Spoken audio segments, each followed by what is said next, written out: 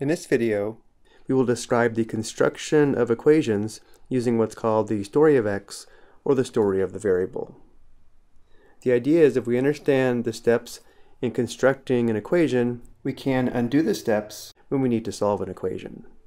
How was the finished equation constructed? List in order how this equation would have been built based on the structure of the operations shown. For equation 1, we have 3 times the quantity p minus 4 divided by 5 plus 2 equals 30. So for each construction story, we always begin with the variable, which in this case is p. Looking inside the parentheses, notice how we have p minus 4, which means the first step is to subtract 4 from p. So step 1, we subtract 4.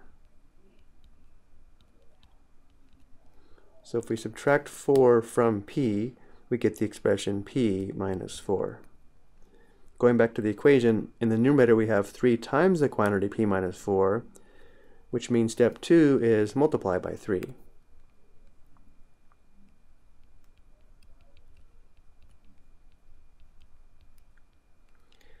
Now if we multiply the quantity p minus 4 or this difference by 3, it's really the quantity p minus 4 times 3, but we can apply the commutative property multiplication and change the order of this multiplication and write this as 3 times the quantity p minus 4, where the parentheses around the 3 are optional, which gives us the expression 3 times the quantity p minus 4.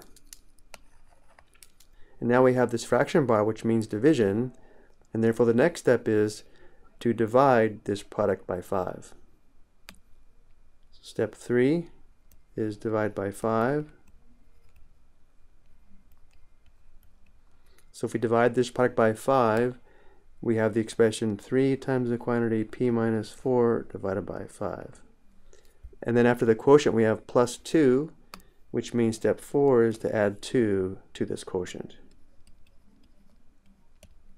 If we add 2 to this quotient, we have 3 times the quantity p minus 4 divided by 5 plus 2.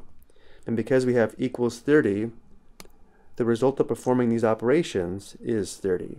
So we will say the result is 30.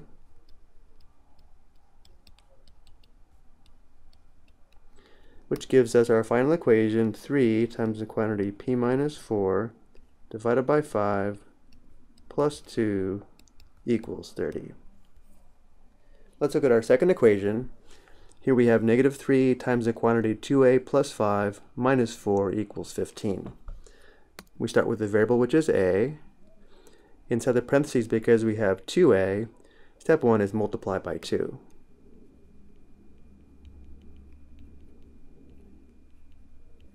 If we multiply by 2, a times 2 is equal to 2a. Looking inside the parentheses, we have 2a plus 5, which means the next step is add 5 to this product. So step 2, add 5. If we add 5 to this product, we have the expression 2a plus 5. And then we have negative 3 times the sum, or negative 3 times the quantity 2a plus 5. The next step is multiply by negative 3.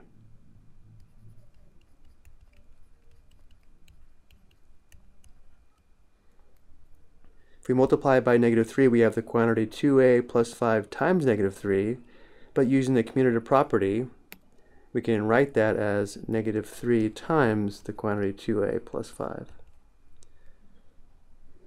Looking back at the equation, notice how we have this product and then minus 4. Step 4 is subtract 4 from this product.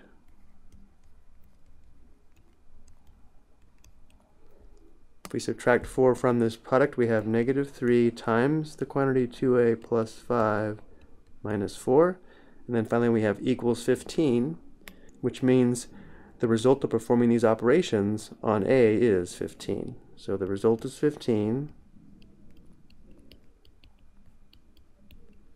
which gives us the final equation, which is negative 3 times the quantity 2a plus 5 minus 4 equals 15.